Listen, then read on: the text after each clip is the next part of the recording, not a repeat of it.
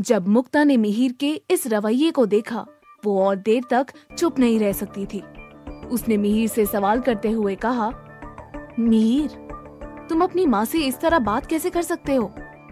लेकिन मुक्ता के इस सवाल का जो जवाब मिहिर ने दिया था, उसे मुक्ता ने बिल्कुल भी एक्सपेक्ट नहीं किया था। मिहिर के उस जवाब को सुनकर मुक्ता हैरान हो गई। एक पल के लिए तो मुक्ता को अपने कानों पर विश्वास ही नहीं हो रहा था। मिहिर ने मुक्ता के सवाल पर रिएक्ट होते हुए कहा, Mukta stay out of it वो मेरी माँ नहीं है. अपनी ये बात कहते हुए मिहिर बहुत ही ज़्यादा इम्पल्सिव हो गया था। मुक्ता मिहिर की इस बात पर यकीन नहीं कर पाई तो उसने एक नज़र मिसेस नीलम रायचंद की ओर देखा। मिहिर के उन चुभने वाले शब्दों को सुनने के बाद भी मिसेस नीलम रायचंद के चेहरे पर कोई बदलाव नहीं था। वो अभी भी उनसे हुई एक नॉर्मल और छोटी सी गलती के लिए शर्मिंदा फील कर रही थी इसलिए मुक्ता को इस बात की अश्योरिटी हो गई कि मिहिर गुस्से में कुछ भी अनाप शनाप नहीं कह रहा था और वो दंग रह गई जिस तरह से नीलम आंटी मिहिर की फ़िक्र करती हैं, मिहिर के बारे में हर छोटी से छोटी बात जानती हैं। कोई इस बात का अंदाज़ा भी नहीं लगा सकता था कि नीलम आंटी मिहिर की मॉम नहीं है शायद इसी वजह से मिहिर कुछ कह नहीं रहा था और थोड़ा अनकंफर्टेबल भी लग रहा था। मुक्ता ने इस सब के बारे में सोचते हुए मन ही मन में कहा। मिहिर ने फिर अपनी बात को कंटिन्यू करते हुए कहा। लेट मी इंट्रोड्यूस ये है मिसेस नीलम रायचंद मेरे डैड की वाइफ और आप मुक्ता को जानती ही हैं। अब इससे पहले कि मैं गुस्से में आपको कुछ उल्टा सीधा कह दूँ और आपके आँसू निकलना शुरू हो जाए मेरे कमरे से चली जाइए, प्लीज़। मिहिर की कही ये बात सुनकर मिसेस नीलम रायचंद की आँखों में दर्द उतर आया। लेकिन उन्होंने इस तरह अपनी आँखें झपकी, मानो खुद को ही समझा रही हो। मिसेस नीलम रायचंद ने एक गहरी सांस ली और उनकी यूजुअल स्माइल के साथ मिहिर और मुक्ता को देखकर प्यार से बोली, तुम दोनों थोड़ी देर बातें करो और फिर नीचे खाना खाने के लिए आ जाना, लेकिन ज़्यादा देर मत लगाना। अपनी ये बात कहने के बाद मिहिर और मुक्ता का जवाब सुने बिना ही मिसेस नीलम रायचंद वहाँ से निकल गई उन्हें जाते हुए देख के मुक्ता के दिल में नरमी आ गई। मैं तो आज नीलम आंटी से पहली बार मिल रही हूँ। वो मुझे ठीक से जानती भी नहीं और मिहिर ने मेरे सामने अपने फैमिली इश्यूज़ ओपन अप कर दिए। ऊपर से नीलम आंटी को बहुत बुरा भला भी सुना दिया। मिहिर को ऐसा नहीं करना चाहिए था। लेकिन जिस तरह मिहिर रिएक्ट कर रहा है, मुझे लगता है कि वो भी बहुत हर्ट फील कर रहा होगा। मुझे उसके फैमिली मैटर्स के बारे में कुछ भी नहीं पता। हो सकता है कि बहुत सी ऐसी बातें हों जिनकी वजह से मिहिर ने ऐसा बिहेव किया। मुक्ता ने मिहिर के बारे में सोचते हुए मन ही मन में कहा। मुक्ता ने देखा कि मिसेस नीलम रायचंद के जाने के बाद मिहिर जाकर अपने बेड पर बैठ गया। उसने दोनों हाथों में अपना चेहरा छिपा लिया था। मुक्ता ने कुछ सोचा और फिर मिहिर के करीब जाते हुए अपने घुटनों पर बैठ गई। मुक्ता ने हल्के से अपना हाथ मिहिर के कंधे पर रखा और उससे बोली, मिहिर, क्या तुम ठीक हो? क्या तुम बात करना चाहोगे? पहले तो मुक्ता डर गई थी कि अगर मिहिर बास्केटबॉल मैच वाले दिन जैसे रिएक्ट करता, लेकिन फिर भी उसने एक बार मिहिर से बात करना सही समझा। जब मिहिर ने मुक्ता की छुअन को महसूस किया, ना चाहते हुए भी उसने अपने चेहरे से हाथ हटा लिए। मुक्ता ने जब देखा कि मिहिर की आँखें भरी हुई थी, वो अजीब महसूस करने लगी। इससे पहले कि मुक्ता मिहिर को कंफर्ट करने के लिए कुछ कह पाती, मिहिर ने उससे कहा, तुम भी बाहर निकलो। मुझे थोड़ी देर अकेले रहना है। मिहिर की बात सुनने के बाद भी मुक्ता वहीं बैठी रही। जब मिहिर ने देखा कि मुक्ता उसकी बात नहीं मान रही थी तो उसकी आँखों में गुस्सा उतर आया। कुछ सोचने के बाद मिहिर ने इस तरह मुक्ता को देखा, मानो उसके वहाँ होने को मुश्किल से बर्दाश्त कर रहा हो। मुक्ता, अगर तुम चाहती हो कि मैं तुम पर भी गुस्सा करूँ तो यहीं बैठी रहो। इस बार मिहिर की आवाज़ में रूखापन था। मुक्ता ने मिहिर की बात फाइनली मान ली और वहाँ से चली गई। नीचे जाने के बाद मुक्ता ने देखा कि अभी भी सब मिहिर और उसके आने का वेट कर रहे थे।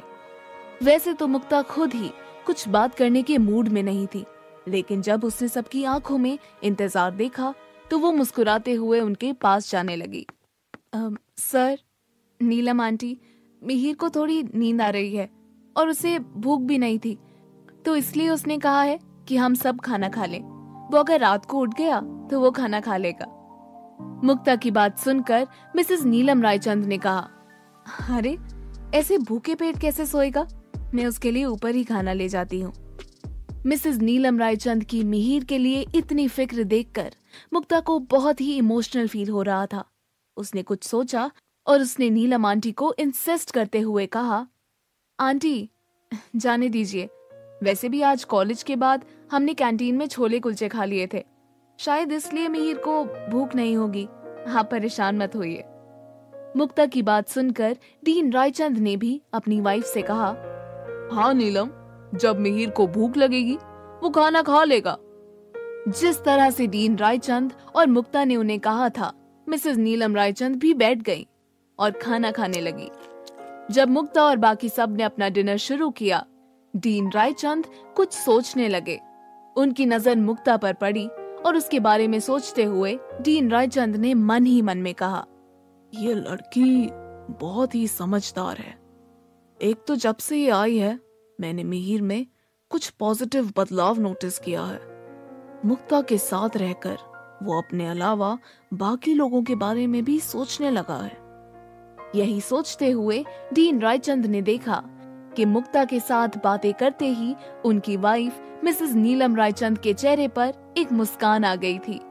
साथ ही बाकी सब भी बहुत हँसी मज़ाक करते हुए डिनर कर रहे थे। ये सब देखते देखते डीन रायचंद थोड़ी देर पहले हुए इंसिडेंट के बारे में सोचने लगे। अभी नीलम के हाथों जो गलती हुई, उसके बाद मिहिर हमेशा की तरह गुस्सा पकड़कर अपने कमरे में बैठ गया होगा। मुक्ता भी ऊपर ही थी और जिस चेहरे के साथ नीलम नीचे आई, ज़रूर मिहिर ने उसे कुछ भला बुरा सुनाया होगा। लेकिन मुक्ता ने नीचे आकर पूरा माहौल नॉर्मल कर दिया। यहाँ तक कि नीलम को भी समझा दिया। मुझे मानना पड़ेगा कि मैं इस लड़की के बारे में गलत था। मुक्ता के बारे में सोचने के एक नए नज़रिए के साथ आज का ये डिनर खत्म हुआ था। सबके जाने का भी वक्त हो गया था, लेकिन अब तक मिहिर नीचे नहीं आया था। सबको बाय कहते हुए मिसेस नीलम रायचंद थोड़ी देर पहले हुई बात भूल ही गई थी। काव्या, तुम्हारी मॉम की तबीयत का ध्यान रखना और मायरा, मिसेस ओब्रॉय से कहना कि मैं अगली किटी पार्टी में आने की पूरी कोशिश करूँगी। मिसेस नीलम रायचंद की कही इस बात पर काव्या और मायरा ने हामी भर दी।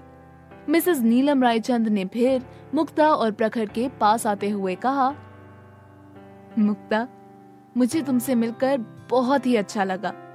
मिहिर के साथ मुझसे मिलने के लिए आती रहना। मुक्ता ने उनकी बात पर हाँ में अपना सर हिला दिया। और प्रखर, मैंने अजय से सुना है कि अगली वीक से तुम लोगों के एग्ज़ाम शुरू होने वाले हैं तो मस्ती मत करते रहना, पढ़ाई पर ध्यान दो, ठीक है? अपनी नीलम आंटी की कही ये बात सुनकर प्रखर ने कहा जी आंटी, मैं पढ़ाई ही करूँगा। आप मेरा रिज़ल्ट देख लेना। उन चारों से ये बात करने के बाद मिसेस नीलम रायचंद ईशान के पास जाते हुए बोली, ईशान, बेटा अपना ख्याल रखना। अगर कुछ भी चाहिए हो तो मुझसे या तुम्हारे डीन सर से कह देना। अपना ख्याल रखो और ज़्यादा एग्जॉशन करने की कोई ज़रूरत नहीं है। जब ईशान ने देखा कि मिसेस नीलम रायचंद उसके लिए फिक्रमंद हो रही थी तो उसने बहुत ही रिस्पेक्ट के साथ कहा, जी मिसेस रायचंद मैं ख्याल रखूँगा। थैंक यू फिर सबने डीन रायचंद और मिसेस नीलम रायचंद को डिनर के लिए शुक्रिया कहा और वहाँ से अपने अपने घर के लिए निकल गए। घर जाते हुए भी मुक्ता के दिमाग में बस मिहिर और मिसेस नीलम रायचंद के रिश्ते को लेकर ही ख्याल चल रहे थे। वो एक ही वक्त पर क्यूरियस भी हो रही थी। और उसे उन दोनों की सिचुएशन के लिए बुरा भी लग रहा था। अब मुक्ता से रहा नहीं गया और उसने किसी से इस बारे में पूछने का सोचा। तभी मुक्ता की नज़र अपनी जीप में बैठे प्रखर पर पड़ी। हाँ मुझे लगता है प्रखर को सब कुछ अच्छे से पता होगा। मैं उससे ही पूछ लेती हूँ। मुक्ता ने मन ही मन में कहा और प्रखर की तरफ़ बढ़ गई। प्रखर प्लीज़ क्या तुम मुझे घर तक ड्रॉप कर दोगे? मुक्ता ने प्रखर से सवाल किया। ये सुनकर प्रखर ने एक ब्राइट स्माइल के साथ मुक्ता से कहा, मिस ब्यूटी, क्या ये भी कोई पूछने की बात है? आ जाओ, बैठो। प्रखर की बात पर हामी भरते हुए मुक्ता जीप में बैठ गई। कुछ दूर जाने के बाद मुक्ता ने डायरेक्ट ही प्रखर से अपनी बात पूछ ली। प्रखर, क्या तुम जानते हो कि मिहिर, नीलम आंटी को इतना नापसंद क्यों करता है? मुक्ता के इस सवाल से प्रखर बिल्कुल भी हैरान नहीं लग रहा था। जब डिनर के वक्त उसने देखा कि मिहिर और मुक्ता के जाने के बाद मिसेस नीलम रायचंद भी ऊपर गई थी तो उसे इस बात की उम्मीद तो थी कि मिहिर कुछ न कुछ तमाशा तो ज़रूर करने वाला था। प्रखर ने भी मुक्ता के सवाल की तरह ही उसका जवाब डायरेक्ट अंदाज में दिया। अब जब कि तुम मुझसे ये क्वेश्चन कर रही हो तो मैं अज्यूम करता हूँ कि तुम्हें ये पता होगा कि नीलम आंटी मिहिर की स्टेप मॉम है। प्रखर की इस बात पर मुक्ता ने हाँ में अपना सर हिला दिया। प्रखर ने फिर अपनी बात को कंटिन्यू करते हुए कहा, वैसे तो नीलम आंटी बहुत केयरिंग है और उन्हें मिहिर से बहुत लगाव भी है। लेकिन मिहिर को लगता है कि नीलम आंटी की वजह से उसकी हैप्पी फैमिली टूट गई है। जब मुक्ता ने प्रखर की कही ये बात सुनी, वो कंफ्यूज लगने लगी। अपने आप ही उसके चेहरे पर सवालिया एक्सप्रेशन आ गए। प्रखर ने मुक्ता की आँखों में दिख रहे इन सवालों को नोटिस कर लिया था। अपनी बात को एक्सप्लेन करते हुए प्रखर ने कहा मिस ब्यूटी मिहिर का ये फैमिली मैटर थोड़ा कॉम्प्लिकेटेड है।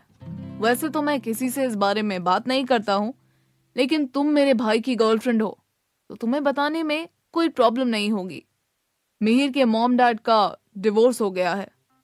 प्रखर की कही ये बात मुक्ता को शॉक्ड कर चुकी थी।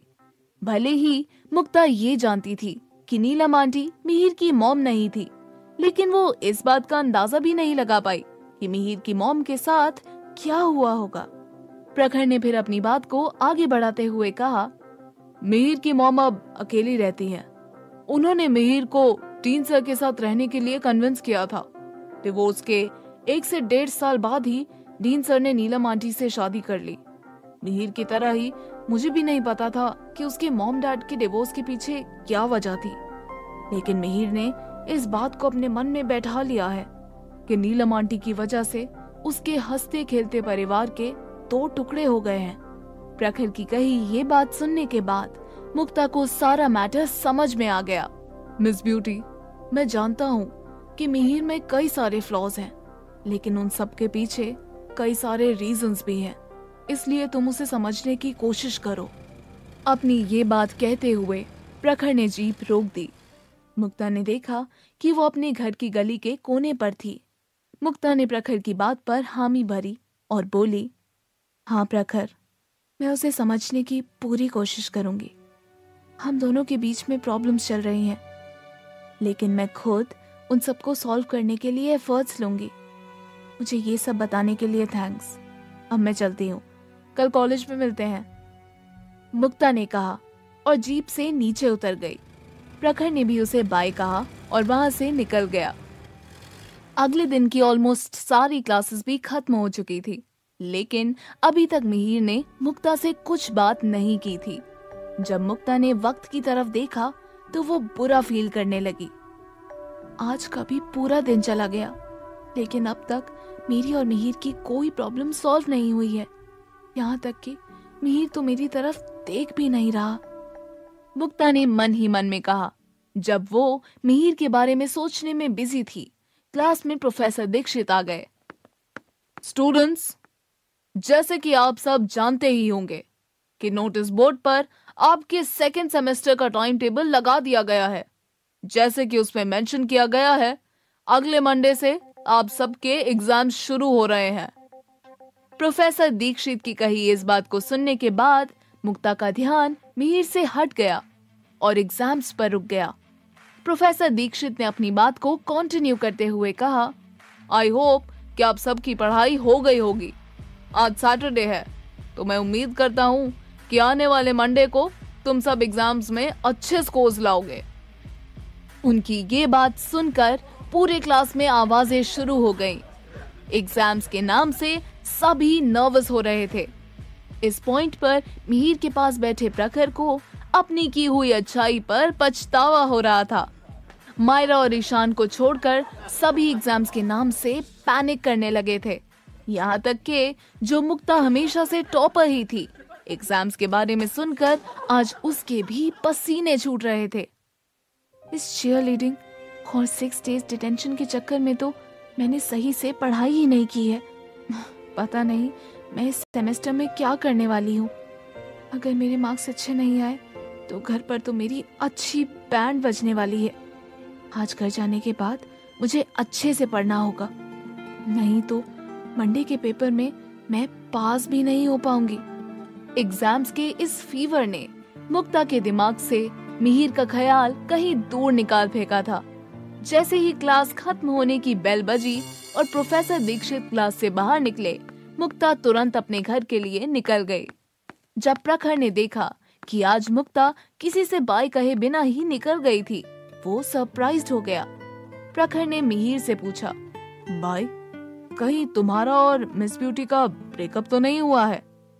उसके इस सवाल से मिहिर दंग रह गया।